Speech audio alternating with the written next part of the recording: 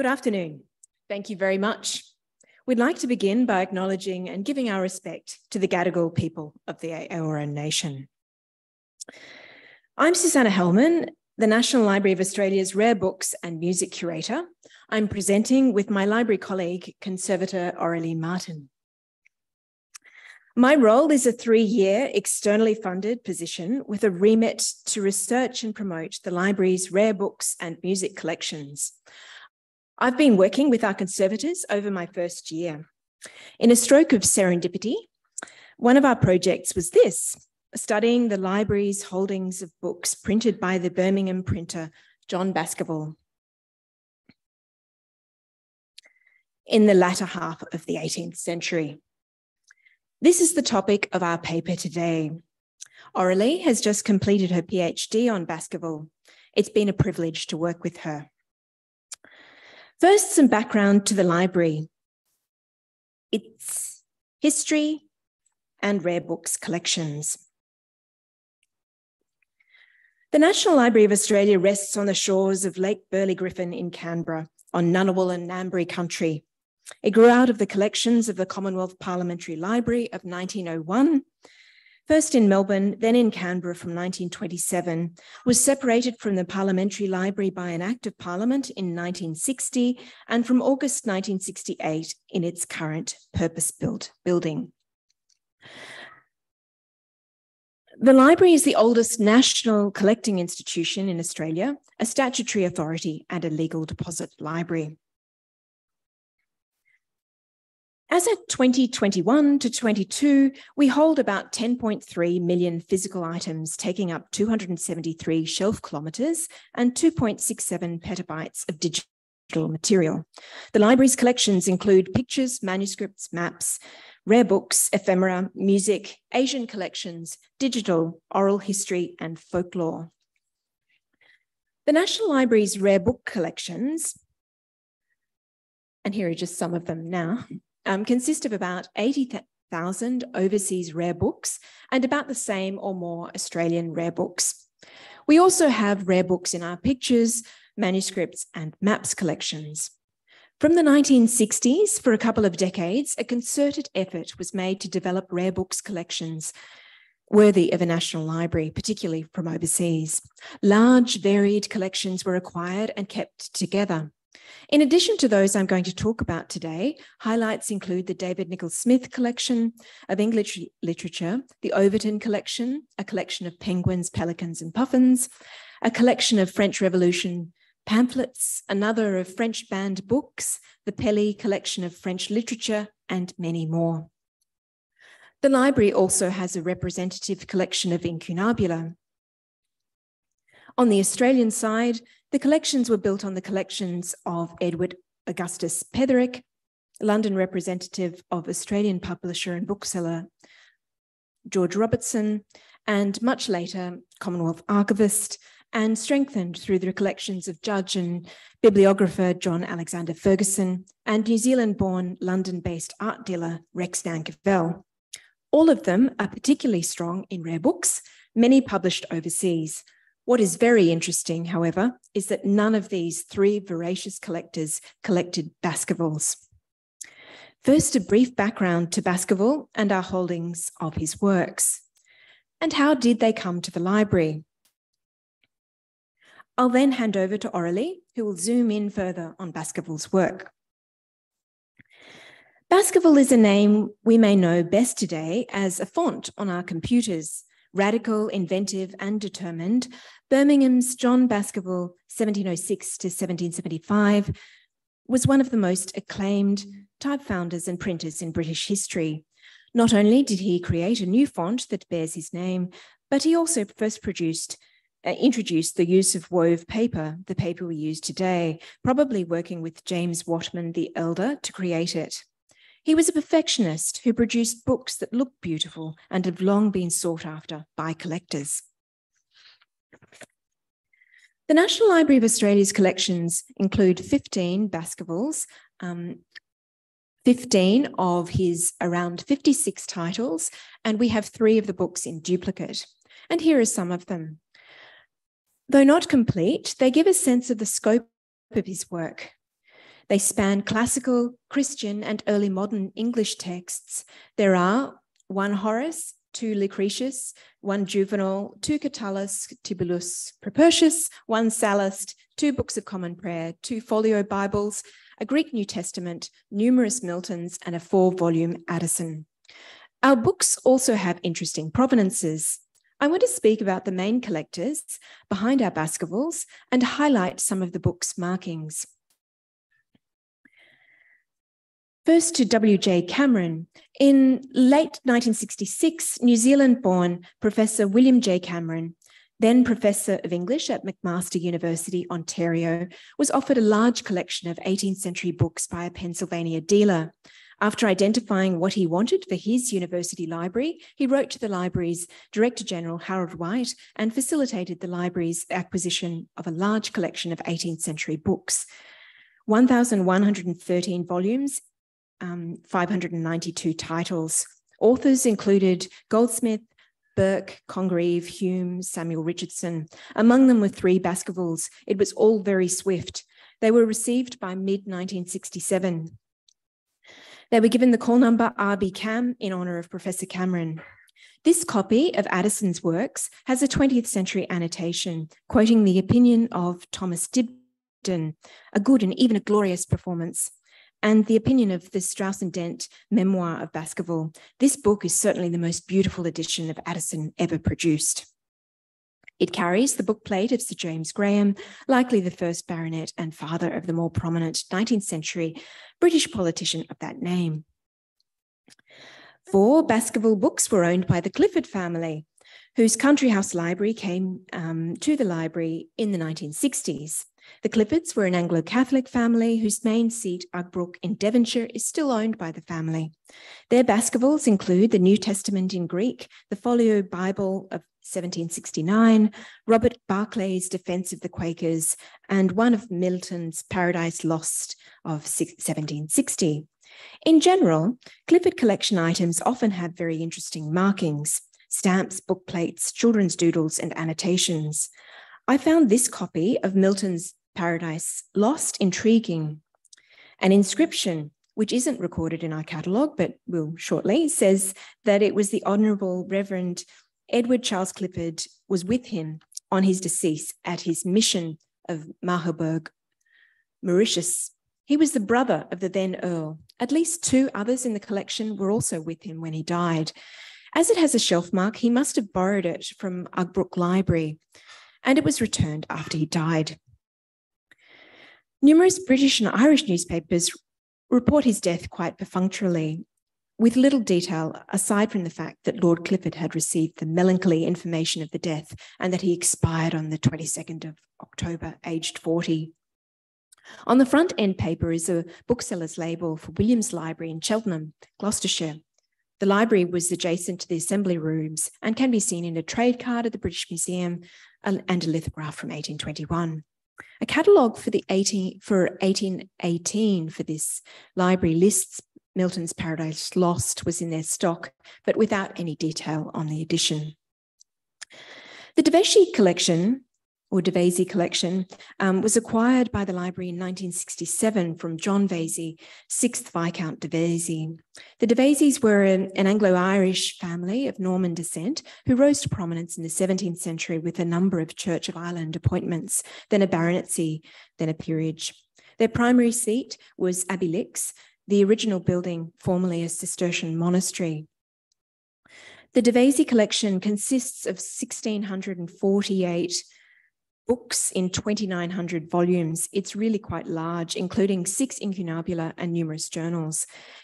The collection really isn't well known. It was not publicised when it was first acquired. The then Lord Vesey was married to the sister of Antony Armstrong Jones, husband of Princess Margaret. The collection includes four Baskervilles, Milton's Paradise Lost and Paradise Regained, a Book of Common Prayer, and a folio Bible. The Bible bears that typically confident inscription, De Vesci. We do have a brief manuscript catalogue um, to the collection dating to 1799 with binding lists from the 1820s, but these do not appear, at least as I can see so far. Now to Fitzhardinge. Three Baskervilles are among the Fitzhardinge collection, a book of common prayer, a Lucretius and a Juvenal. The collection's Baskerville holdings were identified as a strength from the earliest discussions with L.F. Laurie Fitzhardinge, himself a former National Library staff member from 1934 to 44, among other things. His collections were begun by his father, Eric, a solicitor. The collection consists of around 300 volumes of early and fine printing, and the transfer was finalised in the 1990s. Highlights include an incunabula Koberger Bible, a, a Venetian 1483 Ovid Metamorphoses, and Kelmscott and Golden Cockerel um, volumes. This Book of Common Prayer, one of the earliest owners could be W. Harding, a British painter, draftsman, active 1787 to 92. A later identifiable owner is C. Chenevix Trent, Trench, with a typescript ownership label in the front end paper. Trench was a 20th century British historian who wrote on topics as diverse as horsemanship, angling, Irish Catholic landlords, and the rebellion of Charles II's son, the Duke of Monmouth, in the 17th century. There are three Baskervilles in um, from Sir Brian Hone. Hone was a South Australian born Rhodes Scholar, headmaster of Cranbrook School in Sydney from 1940 to 50, and Melbourne Grammar School 1950 to 70. Hole Hone was particularly interested in printing history, particularly fine printing. His collection includes about 148 rare books. He set up the Marlborough College Press. We have his Baskerville, Horace, Sallust, and Catullus. One of the previous owners of Catullus was John Welchman Whateley, a prominent figure in Birmingham in the early 19th century. Thank you. Over to Aurelie.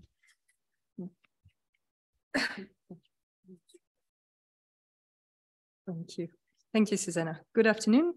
Um, now I will explore uh, the sort of the material aspect of these books.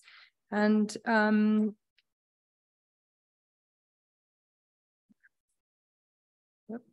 wrong button, sorry. um, so yes, uh, the conference topics about exploring the concept of embellishment in all its form. And after hearing this morning how Peter Lyssiotis um, so brilliantly described it and sort of deconstructed the book um, to show um, to show how each part of the book can be embellished uh, it seems to me that Baskerville sort of perfectly embodies this concept as he spent most of his life trying to embellish the book in many ways. Um, regarded by historians and some of his contemporaries as a mechanical genius, Baskerville was a successful businessman manufacturing and he endeavored to master and improve bookmaking as a whole. His experiments and innovations concerned several aspects. He's known, of course, uh, for designing a new typeface bearing his name. And you can see here on the screen the original punches uh, that are now uh, in Cambridge University Library. And uh, it shows the beauty of Baskerville's letters, but also a primary evidence of the 18th century craftsmanship and punch, punch cutter skills that were required. Um, Baskerville's innovative, innovative mind worked towards improving the printing press itself. He manufactured a darker ink, uh, hot pressed his printed sheets, all that to improve the contrast of the finished um, paper. And as Susanna mentioned, he first introduced the use of wove paper in printing. Now, I'm just going to say a few words on that. Uh, Philippe Gaskell, uh, Baskerville's bibliographer, mentioned that um, he used wove paper only in a few sections of his first edition, the quarto, Virgil printed in 1757, uh, which is regarded as his masterpiece. And um, so you can see here in transmitted light that the title page is sort of uh, showing the chain and laid marks clearly visible here. But then when you go further into the book, you, you can see the pattern of the cloth covered laid mold used to produce the smoother finish characteristic of wove paper. So yeah, and you see here uh, an enlargement. For Baskerville, this was again a means to embellish his printed work by providing a smoother surface to set off his new type and not use the bumpy laid, as uh, Peter puts it this morning. This is all known in the literature, but I started while looking at all these copies that um, actually in the Milton's poetical work, uh, printed only a year later, the paper also had a very smooth surface. Now, he printed a first edition, an octavo one, on laid paper, But then on this quarto one, um, this sort of, uh, it's bit, the paper is much smoother here. Of course, Gaskell's eyes, expertise have not missed its detail, and he writes, quote, it might be mistaken for wove paper, as the chain and wire marks are almost obliterated. However, looking at several pages in different copies, it seems hard to believe that the paper used is not wove, or at least maybe um, maybe another trial at a smoother paper. So if the invention of wove paper is generally attributed to James Whatman, some like to think that Baskerville may have played a role, and the paper used in the Milton Quarto could be uh, a way to shed new light on this potential collaboration, something maybe for another PhD. um, now, the last phase of bookmaking, uh, some may consider is binding, whereby a collector or customer can choose to embellish uh, printed sheets following a personal taste or adopting the fashion of the time. Uh, from surveying about 2,700 copies, I found that the Baskerville editions can be found in many different types of binding, but the vast majority have been bound in boards, as you can see uh, here. And most are covered in tan skin, more rarely in parchment, and more, uh, most are in fine bindings with simple to elaborate tool decoration. Some rare examples have survived in more modest paper cover, but most have been elegantly decorated um, to satisfy the taste of bibliophiles who recognize Baskerville's edition since the very beginning as beautiful object to acquire. And evidence of which comes from some of the most renowned binder contemporary to Baskerville who were employed to bind his editions, such as Ed Moore of Cambridge, Richard Montagu, Richard Dymott, or here, as you can see on the screen, this Roger, Payne binding um, on a Virgil that he made in Eton in 1764. There were also, of course, cheaper binding, but they're usually found on more popular works, such as this copy of um, a pocket dictionary, which is bound in brown sheepskin, uh, which is probably the cheapest leather uh, available at the time in England. This copy, uh, the copy from the National Library uh, seems to follow the same pattern. Most are bound in contemporary 18th century binding, really typical of what constituted uh, a gentleman's or country house library at the period, this period in the British Isles, such as the Cliffords. Um, the decoration vary from simple gold to rolls or frames to more complex central ornaments with brown calfskins, red, uh, dark green hair sheepskin covers, Late bindings can also be found dating from the first quarter of the 19th century, and that corresponds to a period where Baskerville regained in popularity, um, partially thanks to uh, Thomas Dibdin, who praised and described nearly all of Baskerville's work and contributed to uh, making his books objects sought after by bibliophiles. However, none of the NLA copies seem to have the characteristic of the so-called Baskerville binding. Now, Baskerville pushed his vision of bookmaking to the last phase, the binding, as he employed um, a workshop in, in, Birmingham to bind his editions and seemingly offered the service to a specific customer, that of a book already bound in a specific style with a range of tools, example of which you can see on the screen here on a Book of Common Prayer, the Little Horace, um, Congreve's work, and then his master, one of his masterpieces, uh, the Folio Bible, printed in 1763. Now, the Baskerville bindings can be identified by um, a set of specific features, such as a striking uh, and uh, marble paper that Baskerville also helped design, uh, the use of his own type to title spine labels. So as Reichenberg we learned this morning, uh, title was also the brush of color, apparently. Uh, Baskerville was also, uh, also into this um, characteristic. And the last one is the use of a specific roll down there. It's a floral roll. Um, during his printing venture, Baskerville employed several binders in Birmingham, and this certainly started very early uh, with the Virgil, but the bulk of the Baskerville bindings were produced between 1758 and 66, uh, with this more definite style here in the middle. And so the characteristic feature are the decorated paper and the floral roll. So I was quite surprised uh, while surveying the rare book collection for a conservation project when I picked up that folio Bible. It immediately struck me as a typical Baskerville binding with a floral roll, but why did I miss it before? I then realized that this Bible had not, in fact, been printed by Baskerville, but instead by his most virulent opponent, uh, Nicholas Boden. Now, this family Bible is at the very heart of a known controversy that blew up between Baskerville and Boden in 68. At the time, Baskerville had stopped printing and left his foreman, Robert Martin, in charge of his presses.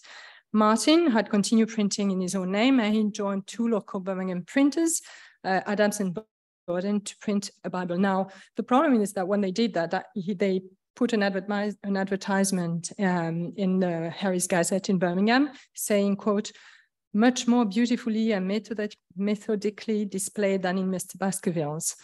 Direct attack, of course, on Baskerville. I don't know if it was unsolicited, um, but Baskerville was so furious that the two exchanged open uh, attacks, vindication for more than a year by means of open letters published in the Gazette. And um, Baskerville was in fact so displeased by this Bible that it made him come back to printing in 69 to print another better version of this Bible. Um, so the, the NLA copy, um, is it really um, a Baskerville? I had to identify a bit more closely, of course. And so you can see here that it's the exact same roll that has been used. And um, here, uh, this tool here was also found on this folio Bible uh, in a Baskerville binding. And the letter used to title the spine are not Baskerville's type, but they were also used on another 63 folio Bible uh, from Walmsley Library, which has also the same uh, little corner piece here. So up to that point, this style of binding, uh, this floral in particular, had only been observed on Baskerville imprints. And this Bible therefore raised interesting question on how this Birmingham workshop was working. Seems to suggest that the workshop potentially continued working without Baskerville when he stopped printing, providing services to local customers and printers indiscriminately, using some of the tools they already had at hand. The exact role of Robert Martin is also interesting to investigate since he was involved in printing uh, the last part of this Bible. And one can wonder if, in fact, the NLA copy was not uh, Robert Martin's personal copy, that he just asked um, the Birmingham workshop to bind. And it's not impossible because um, Martin may have been involved in the everyday dealings of Baskerville business with the bindery. And Martin was, in fact, listed as a bookbinder, amongst other things, in the Birmingham directory. This is a very appealing theory, of course, um, but it cannot be proven at this point as the provenance of the Bible could not be traced back to Baskerville, to Martin, sorry, or any other archive I looked at. Um, one way forward would be to look at the bindings found on the remaining copies of the Boden Bibles. And I had only found two so far because I wasn't looking for them and one never takes enough pictures in field work. Um, and they are bound in a brown reverse skin, so presumably a cheaper material than its red goatskin counterpart, such as this one as well, and which sort of make the red one, goatskin, more unique.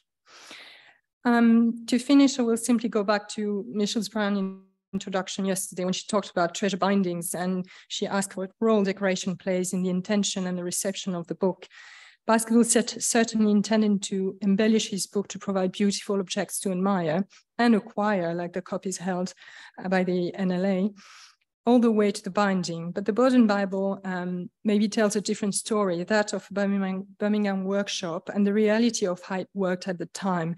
A very precious information on a trade that left very little written evidence on the way it worked. Thank you.